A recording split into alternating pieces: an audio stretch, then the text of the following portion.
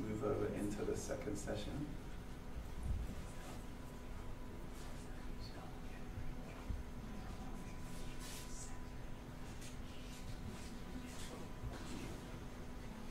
All right, who in the room knows what a tikai is? What is a tikai? A tikai.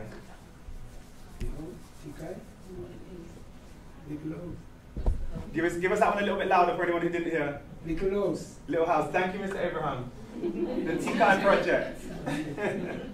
the Tikai project. Tikai, small house. Ti means pet from, is it Creole words? In Dominica, they speak uh, a French patois. Um, has, origin, has origins both in uh, West African language structures um, and also in terms of the, the, the, grammar, some of the grammar and some of the vocabulary of French.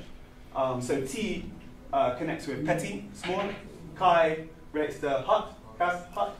Um, small hut in origin. So already it's nodding to indigenous and Kalinago origins. Already it's, it's nodding to African origins, West African origins as well.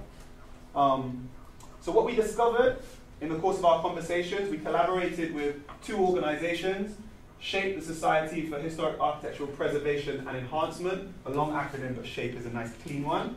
Um, so they're really, really interested and been standing since, the, I've been doing their work since the, the 90s and even earlier, very interested in the preservation of the historic architecture of Dominica. So often when we think about Creole architecture, we think about vernacular architecture in the Caribbean, it often pertains to the grand plantation house and so on, right? What about the house of the everyday people, and in what ways are these houses, or might they be adapted to the meteorological conditions of the island, to the weather of the island? How are they ready for the weather of the island? And how they've been adapted over 500 years of interactions between Europeans, between the indigenous people, between the Africans who came, and between the, the, the various different members of this culture that would emerge between all of these different cultural elements. And I really like this one, so we, we produced a book. It's not really a bone of contention, but I always put this on as the first one of my presentations. This isn't the, the, the cover of the book, but at, one point I hoped it might be the cover of the book. Sorry, Gibran, because I know your uncle's, your uncle's house made it to the cover of the book, so big up to him because his house is amazing. The only reason I like this one is because it positions the house in relation to all of this other concrete-based development that's going on around the island and gives you something of the distinctive character of these small-handed houses that are still standing in relation to the weather, but also in relation to various different kinds of transformation and many yearnings for a particular kind of modernity, which this house is seen to be something that stands against. But our argument is that these houses have adapted throughout the course of history, so we're interested in talking more about that. So the Tikai project is a collective labour of love. Anyone who's familiar with my work, they'll know I'm an anthropologist who mainly works with, with people and much less with material culture and the material culture that they interact with.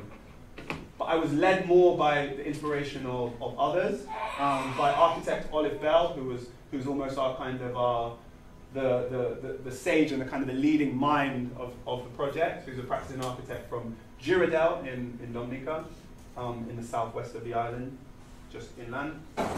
Jan Royer as well, who was wonderfully introduced to us by my colleague Gabrielle. She's a student who's studying in Cuba, an architecture student, um, and has a deep inspiration, um, a deep um, love for the vernacular architecture of the island. Here's Jan taking notes as, um, as Sherman Ishmael, based in Mahaut, talks us through some of the structure. And he's a carpenter who inherited one of these homes from his father, and he's doing a lot of work to try and maintain it, adding new elements that are still in character with the history and tradition of these homes.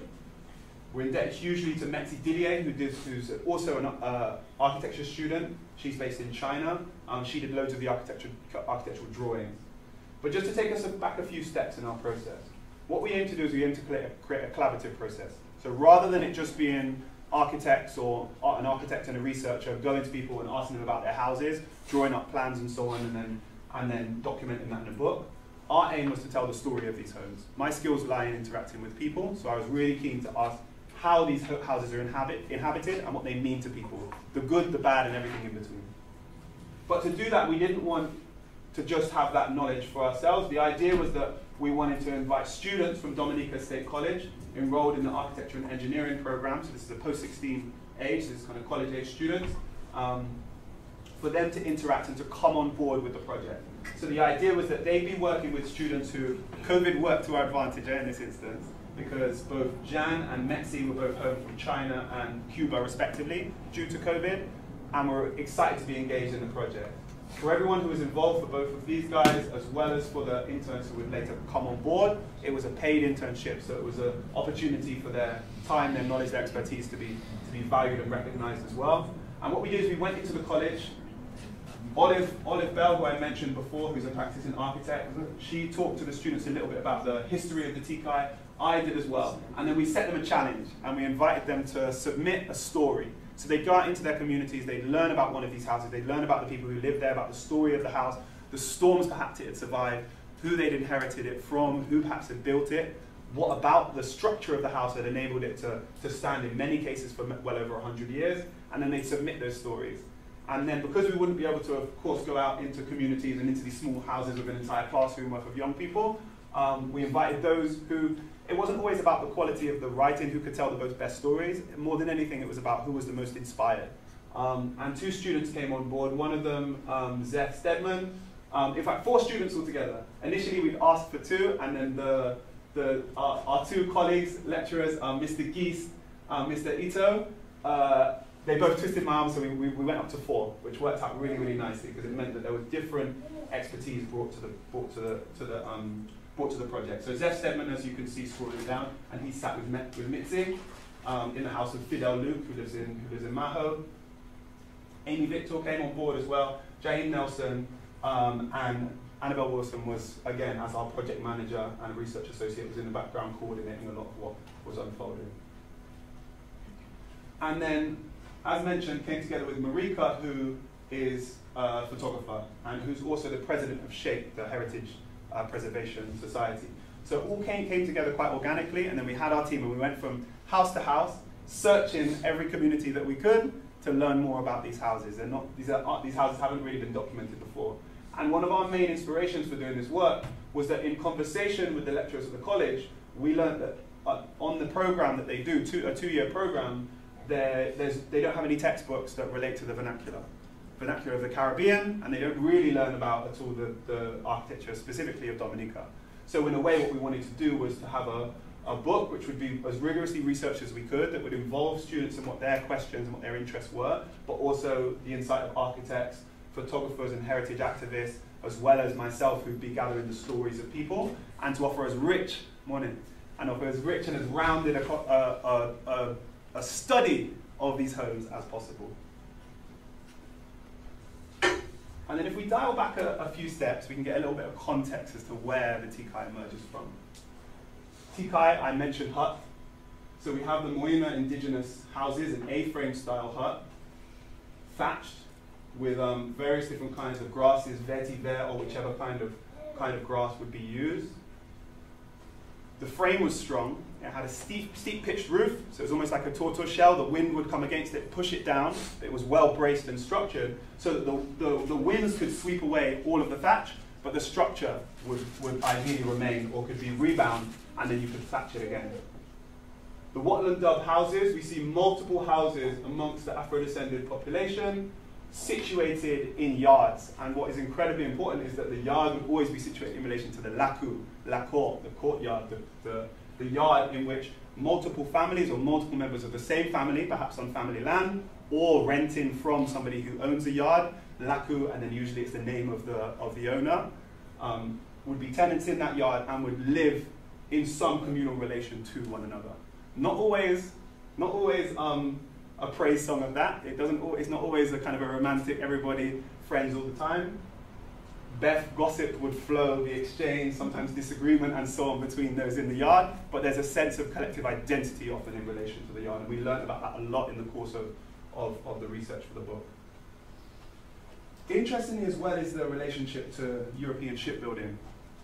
The joinery in terms of how the various different members of the structure are connected together using mortise and tenon joints that fuse with weather and that are able to sustain, and this is a, this is a, a, a lithograph, like an etching from the, the Bristol archives. This is a ship that traveled from Bristol, which is where I was born and, and raised, um, to Dominica, um, somewhere in the, seven, the late 1700s. And it's, you can see the, the, um, the person who's, got the, who's, the, who's put together the journal, who's also done the sketch of the ship, on this particular night in the ship's journal, you can see that it's a stormy night. And there it's to invoke and to remind us of the fact that the incredibly strong joinery and structure that would hold together the ship was inherited within the Tikai. So there's something of the kind of the ways in which the Afro-descended population have taken up some of the technologies, the European technologies, and suited them to, to their own function. This would have been carrying goods, and though they don't mention in the ship's ledger enslaved people, it's during that period, so there may have been enslaved people on board or working in some way on the ship, if not captive, or captive but working. Um, but whoever that's serving is not necessarily serving this population, of course it's not and yet that they would be able to repurpose the various different kinds of technologies which they've inherited from there in their own joinery, in their own carpentry. And then this is, does anybody know what's going on in this picture? Can anyone hazard a guess at what's taking place? I know it's a little bit small for those at the back. I see someone nodding, go ahead. Anyone?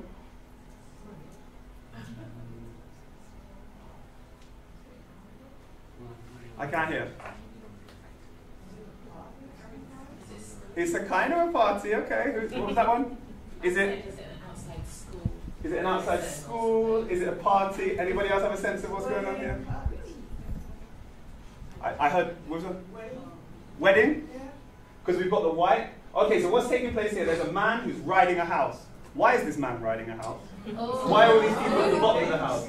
Who, what are these people? What are these people doing at the bottom? They're moving it. They're moving house. Yeah. So basically, Okay, so what I wanted to evoke with this, when we think about the origins, we think about where and how these houses emerge. Slavery legally ends, right? And I say legally ends because it's a very complex ending. Some people still were under apprenticeship, some people were still in bondage in various different kinds of ways, or at least the freedoms which they gained were, were limited in terms, of, in terms of movement and so on. Slavery still, nonetheless, legally ended across the, across the, um, the, the Brit British West Indies in 1838. At that point, the people who, the working class, the laboring classes who inhabited the plantations, who were working formerly captive on the plantation, typically owned their houses, but they didn't own the land on which their houses sat. So you had a choice. Either you can continue to work for your former masters for relatively meager pay, feeling like your life hasn't transformed radically, or you can flee the plantation and you can find somewhere else to, to live. In many cases, people disassembled their houses, in many cases, they came to live on the plantation's edge. The prime land, the flattest land of this incredibly mountainous island, was typically around the was typically where the plantations were, right? So most of that land was owned, and so you wouldn't be able to quote unquote squat on that land because you would be removed. Now, around the strip of the island was an area called the King's Free Chains. This has been quite well documented. Around 60, 60 meters from the sea inland. The idea is that this was reserved for jetties, it was reserved for fortification, the various different bits of, of infrastructure for the plantation society. And yet, because it was deemed to be crown land, then those who were fleeing the plantation and it wasn't private property, they were able to settle that land. And so what happens is you've got a coastal strip that is the most inhabited part of the entire island, right, right around the perimeter of the island. Less, coast, less the case in the southeast because it was much more rugged on that side, and there was rugged land that people could occupy and people could, could gain rights to. But generally speaking, over the years, people would either be close to the falaise, that's Creole for the drop, so the steep escarpments. These are not prime bits of plantation land. These are areas that often are quite precarious as well in terms of uh, landslides and different things we mentioned before. Um, but people would come to inhabit those areas. And in those areas, the, the, houses were quite densely populated. And so what would happen is, this is just to give you a hint of the ways in which houses will move according to changing and shifting circumstances the pragmatic way in which, according to your, your, your status, residing on a piece of land, people would up and move their houses.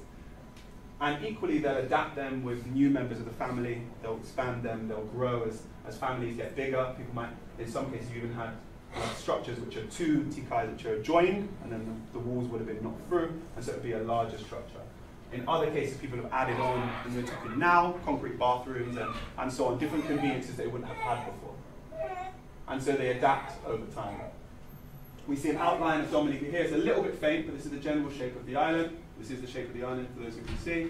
And then we're now in Mahaut, which is in the, in the, um, on the west coast, almost halfway up the west coast, about a third of the way up the west coast. And these are some drawings which will just, just give you a sense of the structure of a tikai. And this is at the house of Fidel Luke, a photo taken by Marika Honychurch. Anyone who sees a ganja plant, ganja, ganja is now decriminalized, so don't go call anyone up and say they're breaking the law. Shingles on the outside. The shingles, only a third of them is exposed to the weather. So as the rain beats down on them, as it's beaten down today, and Dominica gets incredibly high amounts of precipitation, the shingles, only a third of them is exposed to the weather, and so as such, you wouldn't, and they're mounted on boards, you wouldn't get the, the rain and so on coming through and yet the house is still able to breathe because they're sat overlapping, and so little bits of the moisture is able to be released when it then gets hot, and so the house doesn't, doesn't rot. Raised up on, on wood pile foundations, pillar twee, as, as the old school people would have called them, well moored and anchored, and yet inundations of rain, the water can flood underneath, flash flooding, um, the house wouldn't be exposed so much to that as well. Steep pitch roof, again, as we've mentioned, well braced, um, with collars across or trusses in some instances, giving it a, a, a great deal of, of, strength against the wind. Though we have here, um, we have here the, uh, I'm forgetting the name of that particular kind of roof, not the hip, the, gable. the gable roof, yeah. yeah. So as we've got the gable roof here, in many cases what we have is the, is the, um, the four-sided, four-sided half hip, hip gable you might call it. So it's got the little short gable end just here, but you still have some side of the roof, so the winds that come from any side against that steep pitch presses down almost like a tortoise shell, strong structure inside, rather than a lower pitch roof where the wind can come under and make it sail away. Now we've got quite technical, we've got quite historic, quite quick. Also we have internal vents, so a lot of it is about cooling the house as well, about keeping the, the house, house cool too. You know when a hurricane is coming because it gets incredibly hot, stiflingly hot, sometimes uncomfortably hot. These houses respond to the, to the, to the heat before the hurricane even comes, insofar as, unlike concrete houses which absorb sun throughout all of the day, and then nighttime when it's cool outside, they're still emitting that radiation, that heat, radiating that heat, I should say, back into the house. These houses are incredibly well oriented in terms of these windows that open, often thought about in relation to the breezes of the trade winds as they blow from east to west, enabling ventilation to come through the house, cooling the house and so on. Um, but also the fact that they're made out of wood means that they're not soaking up and absorbing all of that, that heat in the same way as a, as, a, um, as a concrete house would. And so their dwellings adapted to their total environment. A meteorological art form, as someone, Jan Morris, referred to Caribbean vernacular more generally. Meteorological art form. From necessity in relation to the weather, a certain kind of art. There's a certain kind of attention to detail. And they're built, as Lennox Honychurch, the national historian of Dominica, um, says with disaster in mind. And as one of our interns on the project said quite, quite profoundly, they were built not against, but with the motion of the wind. They don't try, they allow the hurricane to be, as, as Olive Bell put it in in other terms. They allow the hurricane to move over them rather than just standing like a great monument against the wind, hoping that they can be stronger than it.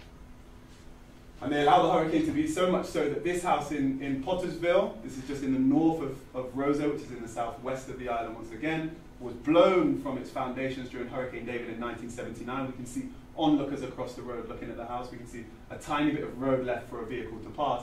It was blown from its stilts, its wooden piles, and yet it still sits all but intact, despite being completely blown over by the, or blown off of its foundations. Just shifted, but has remained strong and still standing, despite the, the force of a Category 4 hurricane. And they're built with incredible understanding and knowledge of the woods and of the forest by woodcutters who journey high up into the forest. In this case, we've got a pit saw documented. This is in Dominica in La Plaine uh, on the east coast documented in 1962 by the famous uh, folklorist and ethnomusicologist um, Alan Lomax. And in his journey through Dominica, he documented the songs that came with the pit saw. There'd be a group of guys, one set below, only one at a given time, but they're taking turns. There'd be one below, one above. There's a wooden structure. There's a piece of there's a piece of wood that's across. The guy above and the guy below, both either end of a saw, and they're cutting as they go. And the song is propelling them forward as they're propelling each other forward in their work in their work group. And here we see in the heights above Roseau, in, uh, sorry, in the Roseau Valley, in a, in a community called Laudat, way up in the mountain, we see Tikai documented in 1903 in a family yard. And it sounds like I've been doing all of this to try and plug the book, if you're interested in the book. But also, this doesn't just take, take you to where you can buy the book, it also takes you to the website so you can get a bit more context on the things that I've been, been talking through so far. Um, and what we feel is quite important about this text is that whilst you've got one or two other examples, and this is not to do, do down this work because we've leaned so heavily, I, I know nothing with, about these houses. Well, no, I would, I would know a lot because I've spoken to a lot of people and I've interacted with people who live in them. But in terms of that, that knowledge base and that foundation, particularly in architectural thought, um, by two scholars from the Francophone Caribbean, from uh, Martinique, I believe. Key in terms of understanding these homes. Caribbean Style, which is a kind of quintessential coffee table book about uh, Caribbean architecture, but that seems to lean more heavily towards, again, the plantation house, these big, grand, more opulent structures. And then the lesser known historic Roseau, which does a more localized study of the, the of the, the, the, houses in the capital, Dominica, Roseau by Lennox Honychurch. But none of these none of these books really focuses on the voices of those who dwell in and inhabit those houses and what those houses mean to them, how they've inherited it, and how they make sense of them. Again, if people want to just take a click, I'm not going to send you off on some activity, but you'll just have it saved. But equally, if you go on the website and go on the blog section of the website, you'll be able to find out more information about these houses. And also how to get the book if you want to. the good thing is, the good thing is that some of the money from the book goes to the same heritage, um, the same heritage organization um, who are doing the work to try and preserve these houses on the ground, which, yeah, and also the photographer um, who also gets a proportion of the royalties. She's also a member of that society as well. So you've got a kind of custodian um, as well as, yeah, the collective that are doing that work. And so just to journey into and get a glimpse of some of these homes, this is Sylvan uh, Paralon, or Watchy, Watchman as they call him, because when he was very young he had a, a, flashlight and they used to call him Watchman when they'd see him out as a little boy in the village when they didn't have street lights. He'd be around flashing his torch and enjoying himself. From his tikai, which is in an area called the ghetto, which is in the, in, in the center of Colihaut, which is the village that my grandfather's from, he relaunched the carnival tradition. There was a carnival tradition, in there called Ban Mauvais, which is a, which is a dangerous kind of carnival tradition. Um, under, under this particular costume, in menacing garb, with heavy, long um, skirt and, and overalls, guys and, and women as well would march through the march through the village chanting, smashing bottles, getting on bad and so on in the village. Um, and it's a kind of a dangerous kind of masquerade. It was outlawed at a certain point because it was associated with various different kinds of rebellion, but also with um, different incidents that had happened in Carnival in town with a fire um, that involved uh, several people losing their lives when they were wearing a different kind of costume, but also had kind of threads and tassels on it. In the 1980s, him and his friends decided to um, make goat, goat skin drums. Um, they stretched, they, they got the hide of the goat, they stretched it themselves, they created their own drums, they dried it over the cross that is in the central, center of the village outside the Catholic Church. They doused it with rum to give it a blessing as it dried in the sun, and then they, they, they, they assembled their costumes and they, they ran their mass again on the road, and they got on bad and dangerous. He's a kind of a cultural stalwart, and the, the house represents something of this cultural hub in the center of Colihaut village.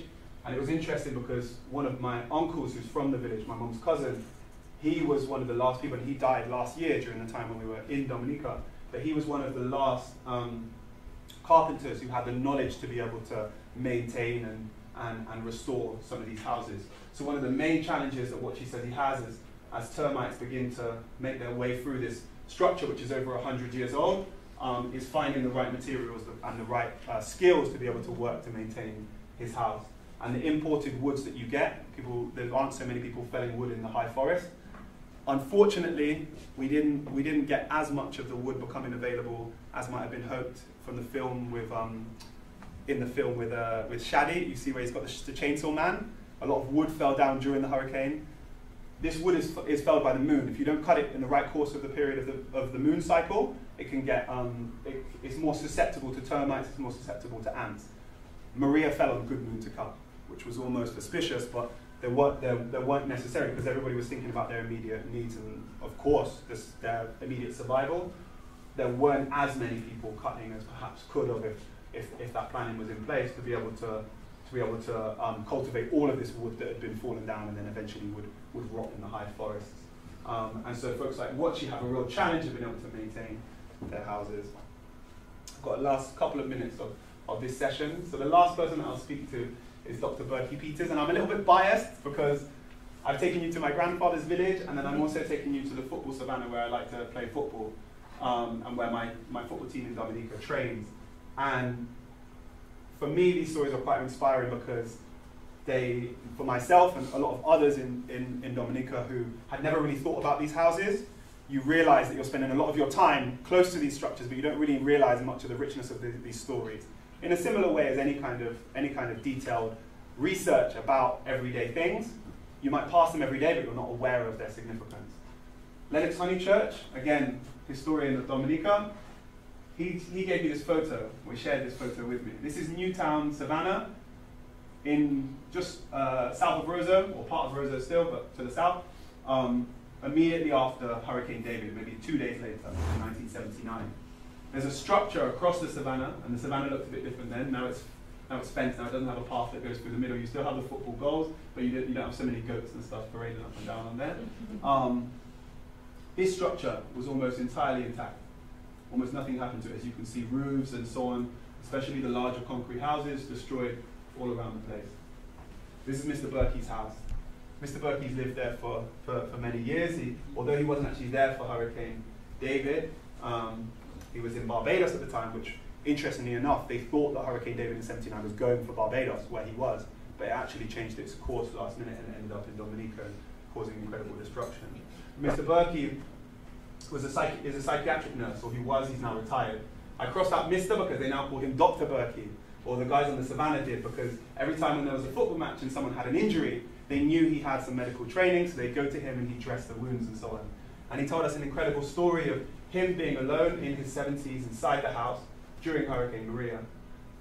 He said nothing much happened to the house, and this is almost quote, quoting verbatim, just one, two galvanized fly away. So one or two of these roofing sheets flew off, but generally speaking, much as it had in 1979, the house was very much still standing. His grandfather was a relatively wealthy man, had all girl children. I, I want to say like nine or ten children. Yeah, because you were, you were there for the, for the session, weren't you? For the um, visit, sorry. Nine or ten children, if not more. The right number is in the book. There you go. Don't, don't, don't misquote me here. But um, each of the daughters um, received a house. And this was one of the houses from his grandfather. And it's incredible to visit him there because he told the story of, of shutting one shutter, battening it down. You've got these uh, bits of wood that lock down at the back that are able to, to close the hurricane shutters. But where the house is relatively old, one would fly open, and then he'd go to shut that one, and then as he shut that one, another would fly open. So eventually, with the rain coming into the house, eventually he hunkered down in the in the back room. I think he was under the bed, and then rode out the storm storm there, unscathed. And then when we visited him on that day, it was incredible because we realized that when Mr. Berkey goes to town, he doesn't need to lock his house, he doesn't even need to close his, his shutters. Because there are a group of young men around the village, young men who often elders of a similar age to Mr. Berkey might talk disparaging about, oh, those boys, they're just there doing nothing, they're smoking drugs, they're not doing nothing with their life, whatever it might be. But in Mr. Berkey's case, they take incredibly good care of him. Whenever he needs something, they help him out. Maybe whether it's carrying water for him, whether it's keeping an eye on his house, whatever it might be. And just to give an example of that, at the end of the day, once we finished talking with him, just further up the savannah, somewhere around this corner, there's a bar. And there's a, there's a Rastaman who was cooking food, like a, a one pot dumpling, all kind of different fish, different things in there. And the, uh, as, as we're leaving, I bought a couple of drinks, and then we're just heading out, and I said, oh, let me, let me pay a little bit of money for, for Mr. Berkey to take some lunch. And the guy turned to me, and with a, with a stern, protective tone, he turns to me and he says, Mr. Berkey's safe, man. At that point, okay, I know he's well taken care of. I check my I do my thing. But it was, it was, it was nice to see that and hear that. There was a sense of reciprocity for the care that he has within members of the, four members of the community or, or over the years as, as Dr. Berkey as they knew him, taking care of them in some cases as kids with raised knees or whatever it might be, and the care which they now take care of him in later life. And whilst it's not a perfect, perfect situation, he doesn't have running tap water, for instance, in the house, so that's the walk, walk for water, people have to help him with that. He does have neighbours around that, that take good care of him. And so these are just glimpses of some of the kinds of stories. I won't be able to go into Silma Thomas's. Um, what I will just um, what I will just close with, um, and Silma Thomas, interestingly, I'm not going to go all the way in, but just to mention, she was actually, all people in her part of Roseau, or in most of Roseau, particularly in particularly elder folks like herself, were told to go and um, shelter in a school, in the Dominica Grammar School. Her house was almost unscathed. The Dominica Grammar School, uh, the river, the, Dom- the Roseau River, um, actually entered the school, and they had to very quickly be rescued, and so much so that her partner, who's, who's now passed away since, since the interview, we did, we did meet him, um, he actually he was, in a, he was in a wheelchair, and so much so that they had to pull him from the floodwater, and his shoes got washed away. Um, and yet the house, nothing happened to it. So she said in future, she said if there's warnings to leave, she said she's staying put in her house, and she's not going anywhere. Um, but in her instance, she actually inherited that house. She was a domestic worker and inherited it from a lawyer, two sisters who were both lawyers, and one of them left the house for her after, after many years of service, freeing her from the burden of rent, which was quite powerful in terms of her own story. And so Dominica, I guess, is at something of a crossroads because in the wake of disaster, a lot of these kinds of structures are being built um, by government with, with um, outside private, um, private money, and in some cases um, in exchange for the sale of, sale of passports as the kind of funding stream to, to do this kind of work, and it's very necessary in terms of people needing shelter, many in quite the kind of vulnerable locations that we've spoken about. But these houses would be built in terms of their design very much against the wind, if you will, if we're, if we're returning to, to, um, to Amy's way of putting it. This is some of the destruction that can be wrought where, and this is again from Hurricane David, where you've moved away from some of those some of those building practices which are tried and tested. And yet there are some tourism uh, locations, this is Jungle Bay uh, in the south of the island, which are working with similar kinds of um, roof style structures to do something, and also the shingles as well, um, and also the raised foundations and so on, to do something that's quite reminiscent in a way of the Tikai.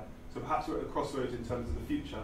And in some instances as well, and this is a Canadian woman who's done this in the Northeast, some people are renovating their houses or their tikai and putting them on Airbnb, showing off some of the beauty of them.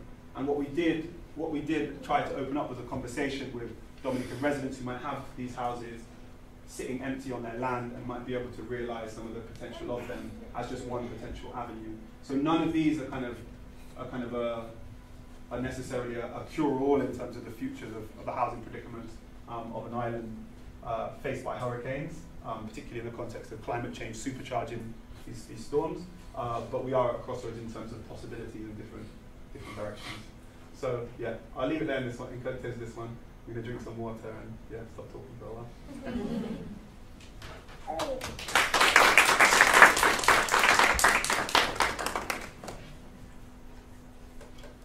Um, yes. Can I ask a question? Please do. Yeah. Um, is it all right? Yeah, yeah, yeah. yeah. Um, thanks for that. Was brilliant. I, I really enjoyed that. I, I just wanted to ask, like, when in the building of houses, is there sort of um, well, there's a couple of questions. One is about just the knowledge, local knowledge about um, building houses, drainage of water from hurricanes. Does that travel across the island? And is it different from the Atlantic side, which mm -hmm. tends to be rougher, than the Caribbean seaside? Mm -hmm. Does that yeah, yeah. make sense?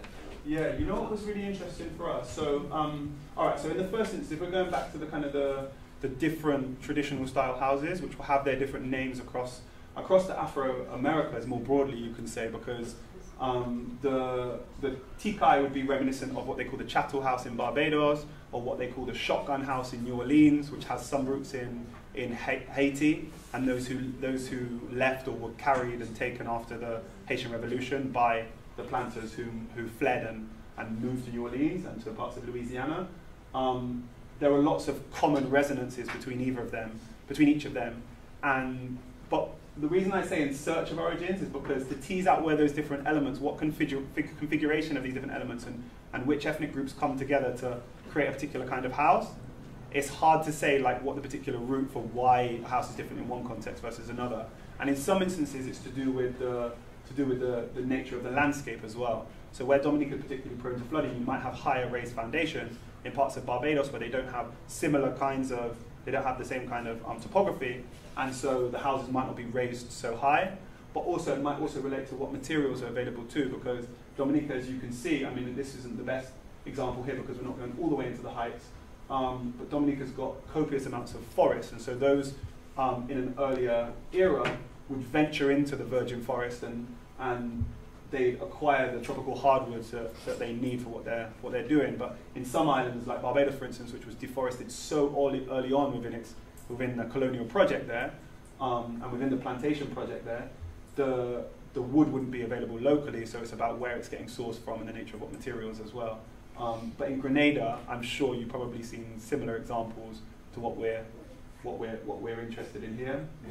The interesting thing on the Atlantic side, we've got one or two folks in the house who might know the Atlantic side well as well, um, is that when we were doing our, when we were doing most of our, um, our research, we didn't find so many examples on the Atlantic side, and I wonder if that's to do with the history of bananas. That's, that was our kind of theory, was that um, there were, in some of the more rural areas, there were, there was, there were larger small holdings of, of bananas during the banana era in the 20th century, and particularly the height from the mid, around the mid 20th century before the decline, which meant that family members were able to earn enough money to be able to send people to university, to be able to build large, large concrete houses, which would have replaced the smaller wooden houses. So that was our kind of theory. I don't know to what extent um, that would be the case.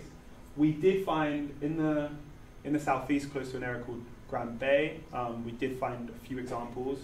Um, Fond St. Jean, we found an example. So some parts on the Atlantic coast, we did find examples, but many more on the west coast. But that's perhaps because people didn't have access to much land, and so where their houses are is where they stay and where they sit, and so they build in and renovate within that context. Yeah, go ahead. Oh, um, I was just saying that it's also because of frequent landslides on the Atlantic side, because of how steep the mountains are. So the houses get damaged by landslides and also when um, rough sea and stuff like that. So houses are like tikai. They don't. They wouldn't really last. Mm. Yeah. always have to rebuild, rebuild, rebuild. And so, Kayla, if you don't mind me saying, is from a southeastern village of Stowe, and so would would have that everyday knowledge. So would you say that you see? There's probably not many in your community at all. My community, especially, is um fairly new. It's, it's not. I don't think it would be old enough to have guys. Hmm. Because my community is like a child of Petite Savanne. Pilitsavan would have. Mm. And we looked. I think I found. I think we found one in Petit but again, the people who we wanted, who we would have spoken to about the house, they weren't so.